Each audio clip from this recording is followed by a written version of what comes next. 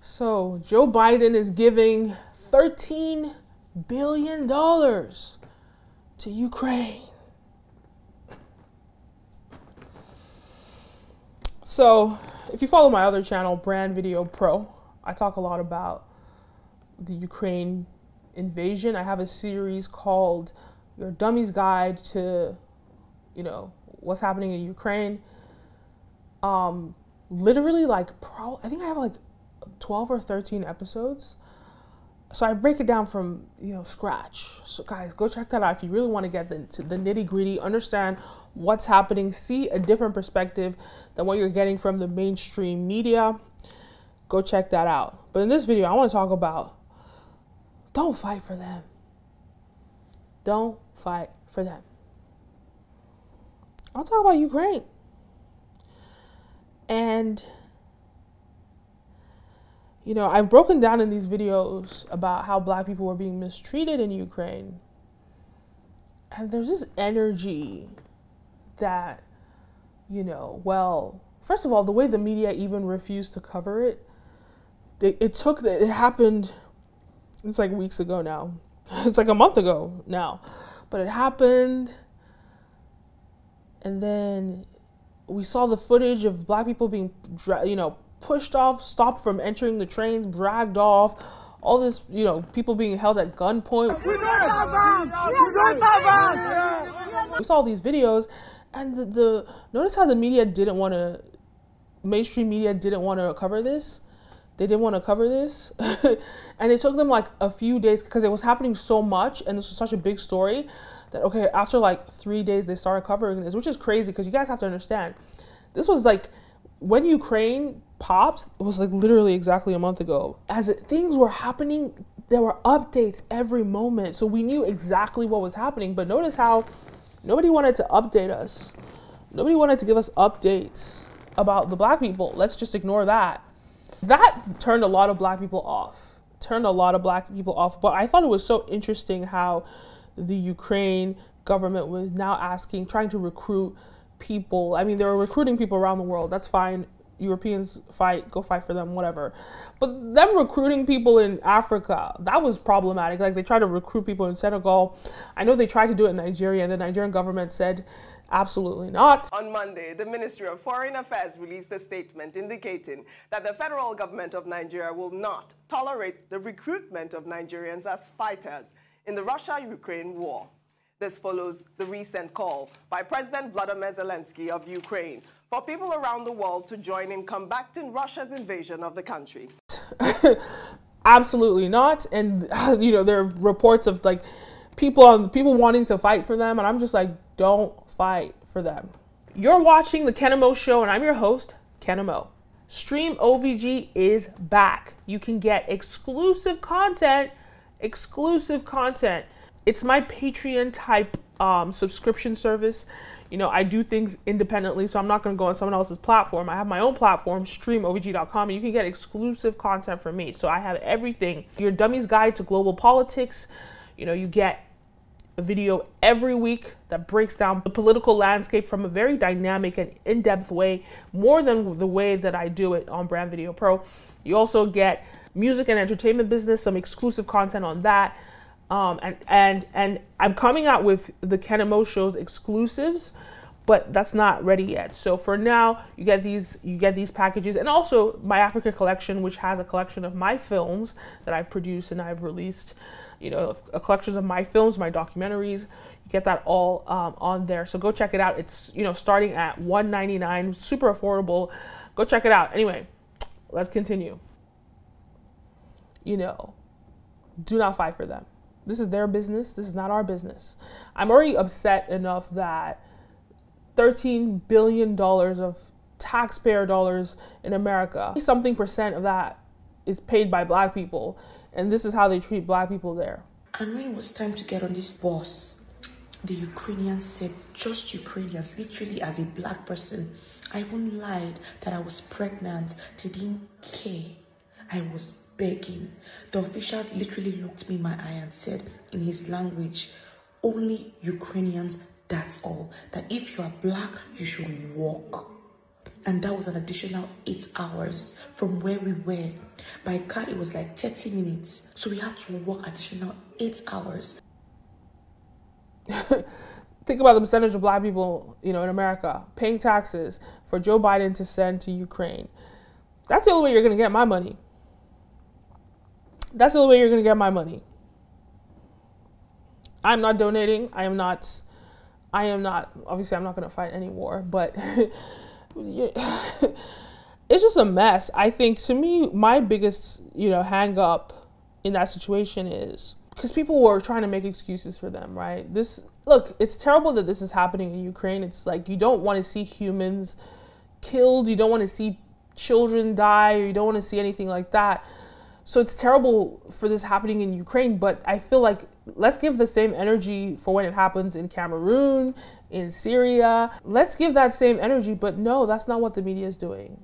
Like I'm gonna play a clip of the media, so many clips of media reporters saying disgusting things. I mean, it's been a month. We're a month into this war now. You know, this is a relatively civilized, uh, relatively European. I and this is not a developing third world nation. This is Europe. These are um, Christians, they're white. So what is NATO going to do if, you know, it's one thing for sarin gas to be used on people in faraway Syria who are Muslim and who are of a different cu- culture. What is Europe going to do when it's on European soil, done to Europeans? Are they going to intervene? Wow. Are they going to keep sit? Um, so many disgusting clips of these Western media outlets saying disgusting things, you know. But there's this pressure. My issue right now is the pressure that white society is placing on the world to donate, support, fight for Ukraine. There's this pressure, but I'm like, have you seen the way they're treating black people? So once we got to the front of the queue, we were told to exit the car queue by um, a civilian, a male civilian told us to exit the car queue. The pedestrian queue, it was just non-white Ukrainian people. So I was confused as to why we're being told, once we've reached a queue that we've been yeah. in for two days, why we're now being told to join a further. There were no Ukrainian people in that queue. And they couldn't explain to you why they were doing it? I think, no. you know. I don't even, I bet you there's still black people stuck there.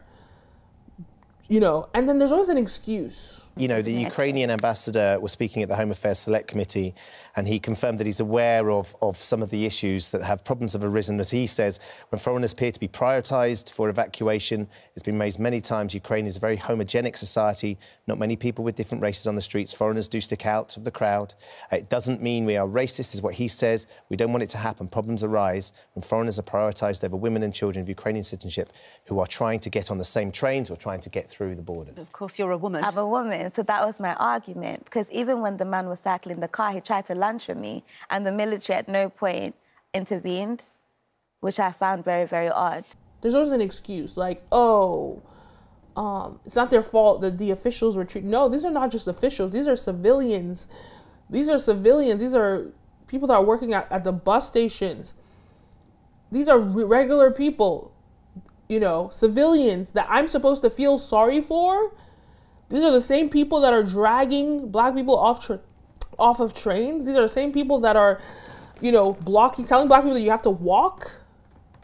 And those are the people I'm supposed to feel sorry for, and those are the people I'm supposed to donate to. You have to understand. you have to understand that no, you know, if you want and at, the, at the end of the day, look, at the end of the day, this is a white man's war. Go fight your war right? This is a white man's war, go fight your war. But don't drag everybody else into it because it's not our business. You know, go watch, you know, I've broken down, and I think it's so interesting how I've broken down in my series, The Dummy's Guide to What's Going On in Ukraine, I've broken it down in details. Putin's perspective, uh, the US perspective, I get both sides. I am not taking sides. Both sides have validity if you look at it objectively without sort of like the brainwashed US propaganda because US is winning the propaganda war. So it's kind of like you're kind of bullied into supporting the mainstream media perspective, but I cannot ignore watching black people, you know, dragged off trains, blocked from entering trains, told to walk for days just to get out. there are too many examples and I'm not going. And, and and the interesting thing about the Western media when they report these stories, even though it took them a while to report it, first of all, but when they report it, they call it reports. We're hearing reports as though it's like oh a faraway thing. They don't just call it what it is, racism, right? So that's one thing. They'll say reports, and then another thing is like oh they're like oh well, it's so sad that this happened. Anyway, moving on. Support Ukraine they never draw the conclusion, they never give an analysis of this is terrible that the Ukrainian people that we are supposed to, they're asking for us to help them, are doing the same thing that Putin is doing to them to black people. There's never any analysis about this. It's just like, oh, well, this is so sad that it's happening. Oh, well, next story. So there's no accountability on your end why should we care what's happening in Ukraine? This is a real question. Why should we care what's happening in Ukraine when they don't care about what happens to black people? When the media doesn't even care enough to even give an analysis. These are news reporters. You can't get them to shut up. You can't get them to stop analyzing basic things. But when it comes to black people being mistreated in Ukraine, they'll listen to the story, but there's no analysis, no drawing up of conclusions, no realization that the Ukrainians are oppressing black people the same way that Putin is oppressing them. There's no analysis there. It's just, oh, well, let's support Ukraine. No, I don't support Ukraine. I don't support Putin. For, quite frankly, the only thing I support is freedom, democracy. But I don't believe that Ukraine supporting Ukraine is the gateway to freedom. Over the weekend, the president of Ukraine, Volodymyr Zelensky, banned that party. Opposition Platform for Life is now prohibited from, quote, all activity within Ukraine. So, with a single command, Zelensky made it impossible for anybody to run against him for president. He did this not just to Opposition Platform for Life, but to 10 other political parties that he believed were insufficiently loyal to him. They're all illegal now. Obviously, there's a war underway in Ukraine, and on that basis, Zelensky has declared martial law. But we must tell you there is no evidence that the opposition parties he banned were aiding Russia in its war against Ukraine.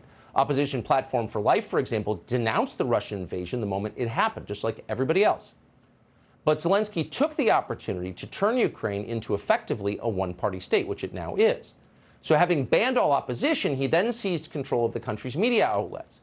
Zelensky signed a decree that combines all national television channels into a single platform that he controls.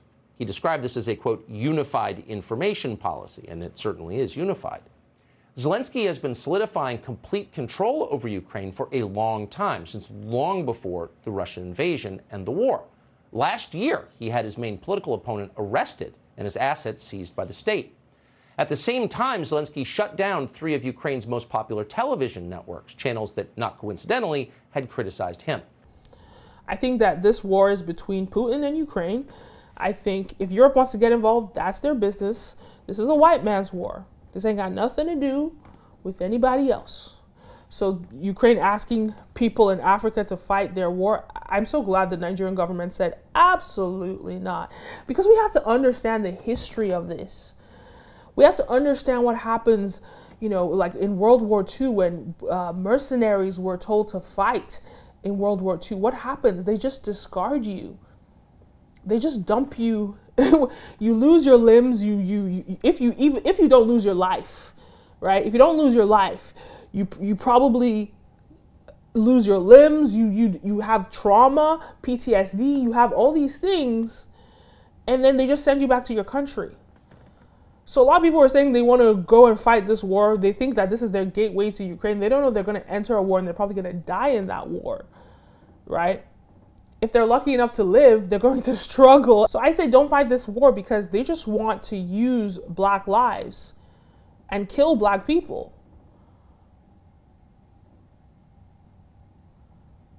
they just want to use you and, and discard you when they're done. So this is a war for Ukraine to fight. This is their business. This is nobody else's business. Right? If, if Europe wants to get involved, that's their business. But I don't think anybody else should get involved. And I certainly am not donating a dollar, not even a cent, to Ukraine. not I, and I, I'm going to be honest. I felt bad when it first happened, but when I saw the way, the inhuman way, the Ukrainian people, the Ukrainian people were treating black people, I refuse to support them, and that's just where I stand. is where I stand. But anyway, if you guys want to know the details, I have about 13 episodes giving you the, the politics, giving you the dynamics. I break it down in so much detail about what's going on, why it's happening, both perspectives. I try and stay un- unbiased. Um, I try and stay unbiased. And for me, you treat people that way, you treat people like trash, but then you ask us all to feel sorry for you, or you ask us all to help you. No, no, you have to be, there needs to be accountability. I think Ukrainian people need to be accountable for the way that they treat black people. And that's just my two cents. Anyway, those are my thoughts. Let me know your thoughts. Leave a comment down below. Don't forget to like, follow, subscribe, all the above.